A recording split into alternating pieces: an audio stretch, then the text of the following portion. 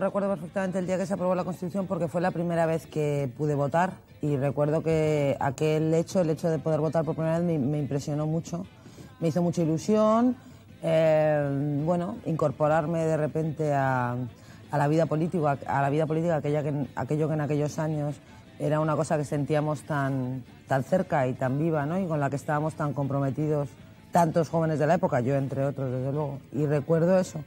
Eh, una primera jornada electoral con toda la emoción y con toda la efervescencia, digamos, que eso puede comportar. Y no me acuerdo qué hice exactamente, pero la sensación de emoción la conservo.